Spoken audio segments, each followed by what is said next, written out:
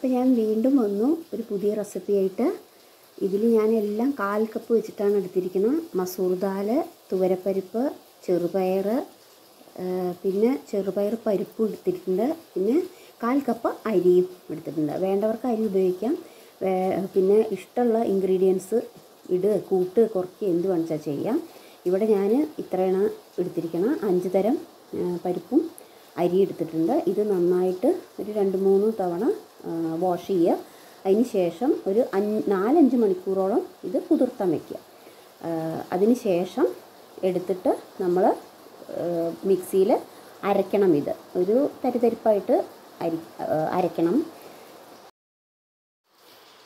ഈ സോക്ക് ചെയ്ത് വെച്ചതെല്ലാം മിക്സിയിലേക്ക് ഇട്ടതിന് ശേഷം ഇതിലേക്ക് വേറെയും കുറച്ച് സാധനങ്ങളും കൂടി അരപ്പിലേക്ക് ചേർക്കാനുണ്ട്.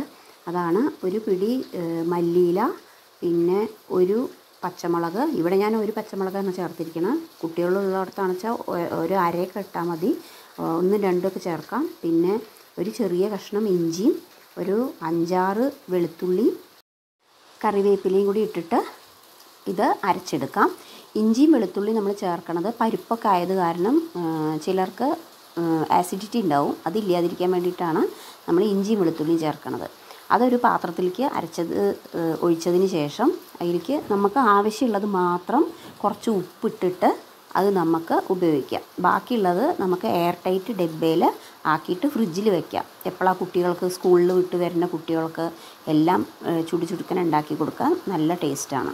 പിന്നെ ഇത് ഒരു തവ വെച്ച് സാധാരണ ദോശ ഉണ്ടാക്കുന്ന പോലെ നന്നായി നൈസായിട്ട് പരത്തി അതിൽ നമ്മുടെ നാടൻ നെയ്യോ വെളിച്ചെണ്ണയോ നല്ലെണ്ണയോ എന്താ വെച്ചാൽ ഒഴിച്ച് ചുടി ചുടു ചുടുങ്ങനെ നല്ലതായി മൊരി മൊരിയിച്ചെടുക്കാം. ഇതിന്റെ കൂടെ നമുക്ക് പുതിനയിലയുടെ ചട്നി മല്ലിയില ചട്നി അല്ലെങ്കിൽ നല്ല എരിവുള്ള നമ്മുടെ നാളികേര ചമ്മന്തി ഏതായാലും നല്ല ടേസ്റ്റാണ്. എല്ലാവരും ട്രൈ ചെയ്യൂ. എല്ലാവരും സപ്പോർട്ട് ചെയ്യൂ.